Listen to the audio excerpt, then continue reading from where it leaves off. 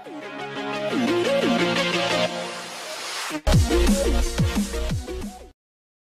jumpa lagi di channel Tekno Millennium. Sampai bertemu lagi di sini ya. Saya mohon maaf karena terlalu lama tidak update video di channel ini karena kesibukan saya di kerjaan offline ya.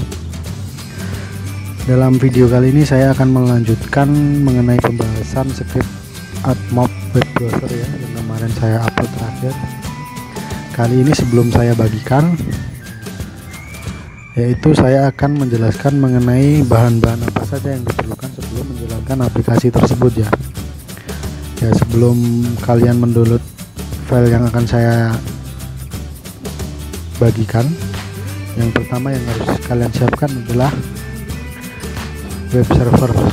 Contoh saya menggunakan XRMPP atau kalian juga bisa menggunakan versi server lainnya. Silahkan pilih sendiri. Kemudian seperti biasa saya menggunakan Chrome. Dan yang kedua yang maaf yang selanjutnya yaitu untuk add-onnya. Silahkan kalian tambahkan add-on di Chrome itu dengan kategori VPN kemudian kategori user agent. Jadi kita harus memiliki dua add-on Chrome itu ya dua macam itu VPN dan user agent di sini saya user agentnya menggunakan yang seperti ini kemudian untuk VPN nya saya menggunakan browser yep.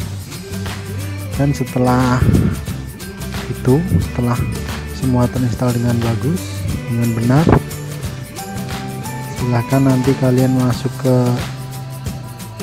direktori instalasi XAMPP atau yang lainnya terserah. Silahkan sesuaikan. Kemudian jika kalian menggunakan XAMPP silahkan buka di htdoc kemudian nanti filenya ekstrak di sini. Di sini saya menggunakan file yang ajar ini ya. Kita taruh di sini. Kemudian cara menjalankannya juga sangat mudah. Kita aktifkan dulu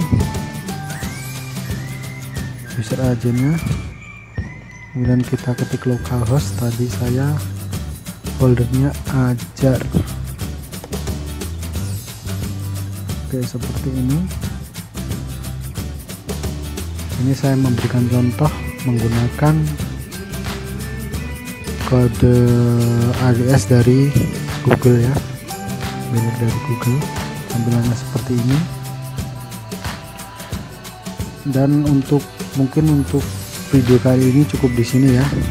Nanti untuk filenya saya share di part final part 3 terakhir. Dan sebelum saya share saya mohon usulannya. Mohon masukannya kepada rekan-rekan di silahkan tinggalkan di kolom komentar. Karena saya bingung. Saya banyak sekali yang me inbox di Facebook saya.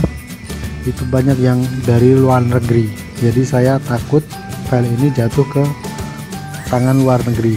Jadi intinya seperti ini bagaimana supaya ini bisa dinikmati orang Indonesia bagaimana saya cara untuk membagian filenya.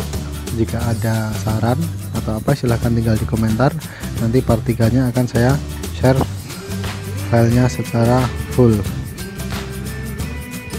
Dan jangan lupa sebelum video ini berakhir saya ucapkan terima kasih yang telah subscribe dan like.